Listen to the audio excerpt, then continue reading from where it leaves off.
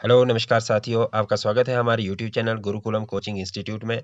और आज हम बात करेंगे कुछ एक ऐसे महत्वपूर्ण एम सी के ऊपर जो कि पेपरों में आमतौर पर पूछे जाते हैं। और अगर आप किसी भी तरह के कॉम्पिटेटिव एग्ज़ाम की तैयारी कर रही है तो आप हमारे यूट्यूब चैनल को सब्सक्राइब कीजिएगा। और साथ ही साथ इसमें हम फुल एनालिसिस के साथ प्रीवियस ईयर क्वेश्चन पेपर को डिस्कस करने की भी आपको कोशिश करेंगे। पहला क्वेश्चन है आज का कि पाँच नदियों की भूमि किसे कहा जाता है? किस राज्यों को पाँच नदियों की भूमि के तौर पे जाना जाता है? तो आपके पास ऑप्शन है पंजाब, हरियाणा, उत्तर प्रदेश, झारखंड। देखिए दोस्तों, पाँच नदियों के तौर पे पंजाब को जाना जाता है और पंजाब में जो पाँच नदियाँ बहती है, वो रहेगी आपकी व्यास, चिनाब, झेलम, रावी, सतलुज। ये पाँच नदियाँ यहाँ पे पंजाब में बहती है और साथ ही साथ पंजाब को भारत का अन्न भंडार क्या कहा जाता है? अन्न भंडार के तौर पे भी जाना जाता है। और भारत की रोटी का कटोरा या रोटी की कटोरी के तौर पे भी पंजाब को ही जाना जाता है। तो इस तरह से हमने यहाँ पे तीन एमसीक्यू सॉल्व कर दिए। पहला, अगर इसमें आपको पाँच नदियों के तौर पे क्वेश्चन पूछा जाए तो भी पंजाब आंसर आएगा। और दूसरा, अगर आपसे पूछा जाए कि अन्न भंडार के तौर पे भारत का कौन सा राज्य प्रसिद्ध है तो वो भी पंजाब आएगा। और अगर कहे आपको कि रोटी की कटोरी किस राज्य को कहा जाता है तो उसका आंसर भी पंजाब होगा। तो इस तरह से यह क्वेश्चन आपका सॉल्व हो जाता है। क्वेश्चन नंबर दो है, इनमें से कौन एक संश्लेषित फाइबर है? यानी कि सिंथेटिक फाइबर के तौर पे इनमें से किसको जाना जाता है? कपास रेयान रेशम या जूट। पाँच ऑप्शन में से आपका जो सही उत्तर है, वो है रेयान प्राकृतिक रेशों के स्थान पर प्रयोग होने वाले। नेचुरल जो हमारे पास फाइबर्स है, उसके स्थान पे जब हम मैन मेड मटेरियल को यूज़ करते हैं, उसको हम क्या कहते हैं? मैन मेड संश्लेषित रेशे।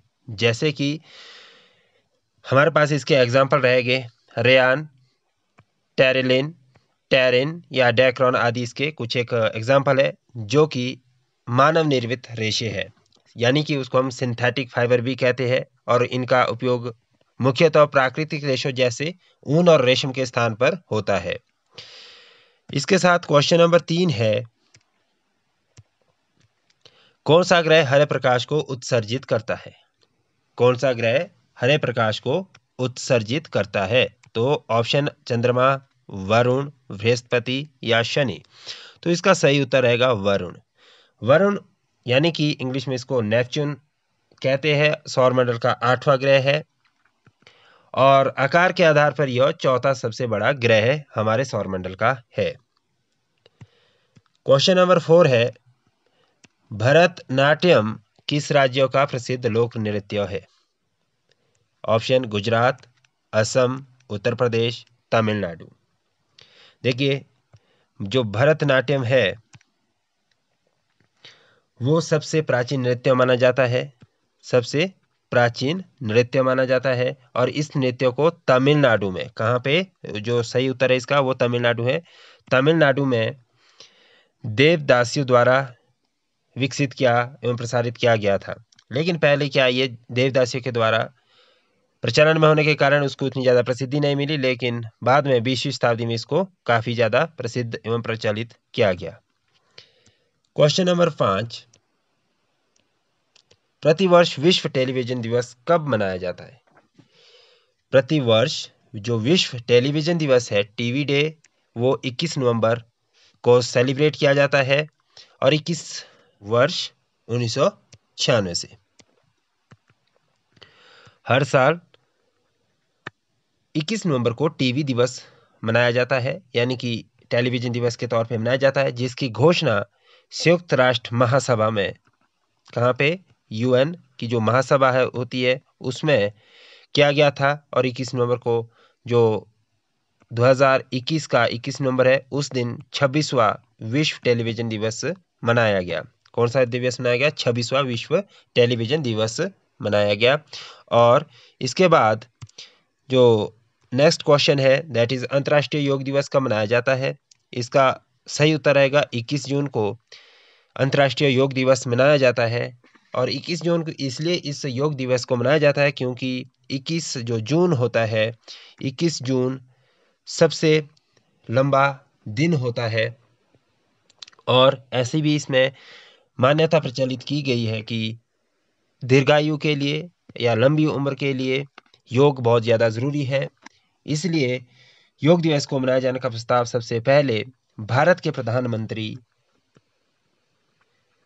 श्री नरेंद्र मोदी जी ने 27 सितंबर 2014 को संयुक्त राष्ट्र महासभा के अपने संबोधन में किया था। उसके बाद क्वेश्चन नंबर सात है,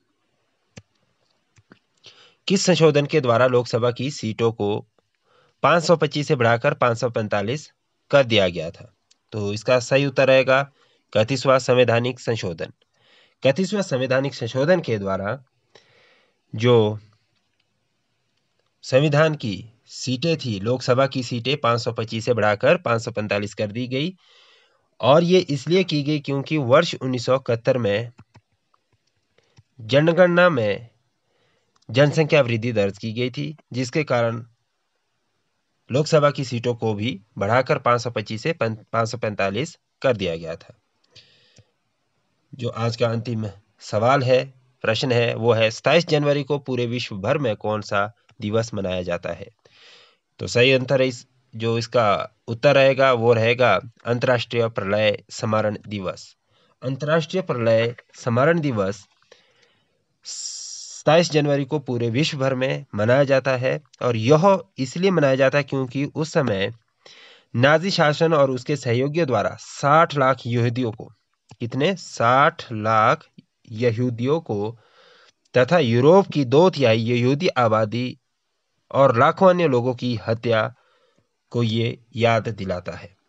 बहुत बड़ा नरसंहार हुआ था उस रिमेम्बरेंस में सताइस जनवरी को पूरे विश्व भर में अंतर्राष्ट्रीय प्रलय समारण दिवस के तौर पे मनाया जाता है।